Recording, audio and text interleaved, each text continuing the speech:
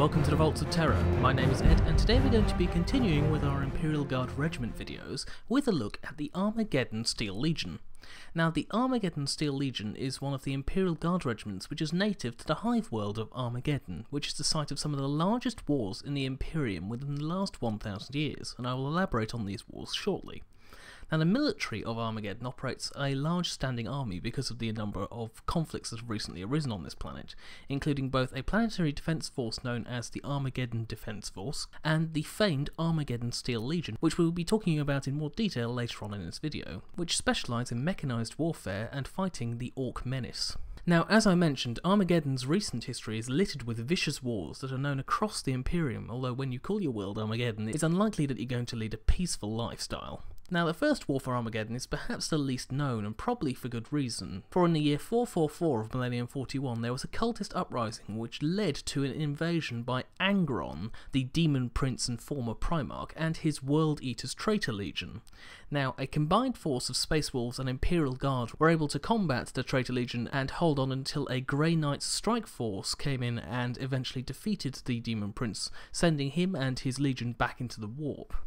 Now, unfortunately, after this conflict, there was a clashing of ideologies between the Space Wolves and the Grey Knights, which came to a head through the Grey Knights' policies of no witnesses to their actions, which almost ended in an exterminatus being called on the Space Wolves' homeworld of Fenris, although this, of course, was prevented from happening through some hasty negotiations on both sides. Now, the Second War for Armageddon is more well known, and features a huge invasion by the Orks in the year 941 of Millennium 41. It was led, of course, course, by the mighty war boss Ghazghkull Mag Uruk Thraka. Now, in the beginning, the original planet's forces were on the verge of absolute defeat due to incompetent leadership until the relief forces arrived, commanded by Lord Commander Dante, who was the chapter master of the Blood Angels, who led a combined force of salamanders, Blood Angels, Ultramarines, Imperial Guard, and squats, although they may have been erased from the Imperial histories.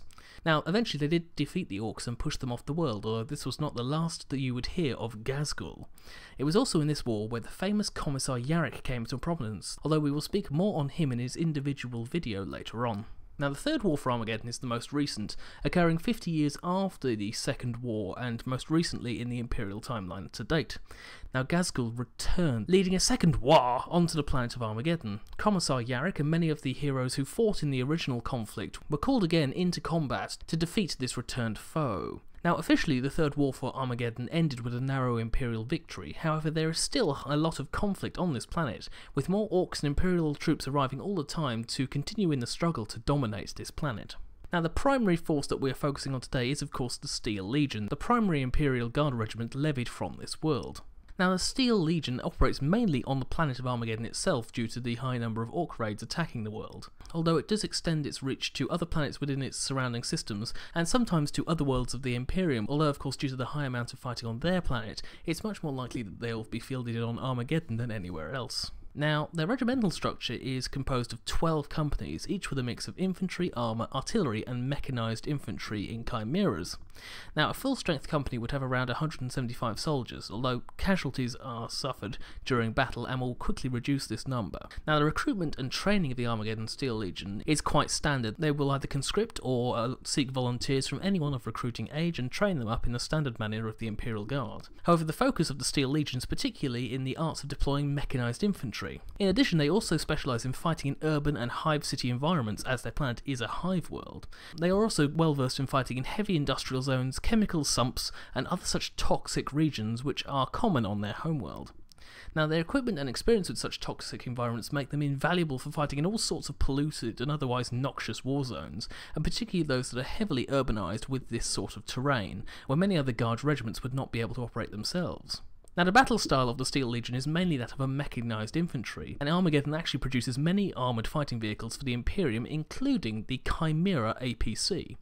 Now, this allows them to launch rapid attacks against enemy forces, spearheaded by chimeras, which then disgorge infantry right into the heart of the enemy and disrupt their battle line, usually used in breaking sieges or trench warfare lines. Now, finally, the equipment of the Steel Legion is that of a uniform mustard yellow trench coat with heavy boots, gloves, and gas masks, with rounded bowl helmets over black fatigues. Now, as noted, their uniform is actually similar to that of the Death Corps of Krieg, although the colours and the type of gas mask worn are actually a little different.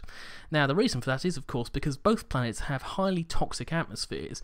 It becomes likely that both would use very similar pieces of kit, as both are quite widely available in the Imperium and are very useful when fighting in toxic environments.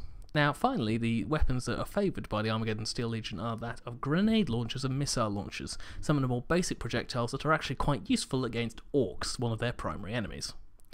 Now, that's everything I have to say on the Armageddon Steel Legion. It's quite a quick video today, and that's mainly because although the Steel Legion are quite famous, they are not actually that different from many other Imperial Guard regiments, and so and so you can see most of their organisation and combat doctrine is similar to that of the Cadians or any other Imperial Guard regiment who fight using standard methods. So that's everything we have to say on the Steel Legion today. We will have another overview video of a different race coming soon, so please do put your choices in the comment section below, or you can go to the Vox Relay, the Vaults of Terra forums, which are linked in the description below where you can ask any questions, vote for the next thing you want to see on the Vaults of Terra, or just ask a question of the small but rather well informed community that seems to live there. Now, if you have a question for myself, you can send us a personal message, or you can ask a question on the Vox Relay, and I'll be happy to try and answer it in the most detail possible. So that's everything I have to say today. See you next time on the Vaults of Terra.